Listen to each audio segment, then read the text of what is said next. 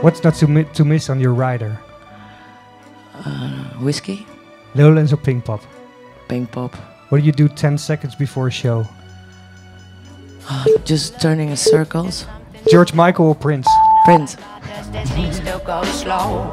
Got things, things on my mind.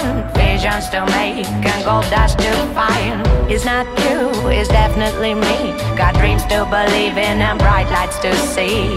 No spark, starting to doubt. I've got the feeling that this won't fashion and music and film and photography and all these things uh, that they belong together in a way and uh, it makes you know music for me like music is always coming with an image and with a, with a yeah with a whole package Yes. Well, you can, you can pick up this album. It's signed by Sharon.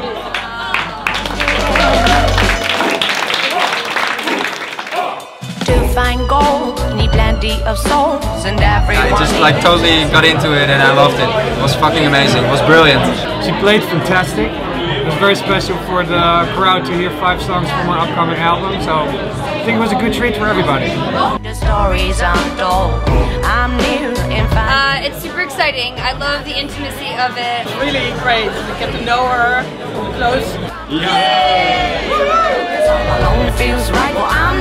I would definitely recommend this to other people, yes. It was very nice. And now we need to go because there are a lot of cars waiting. Sorry. See you next time.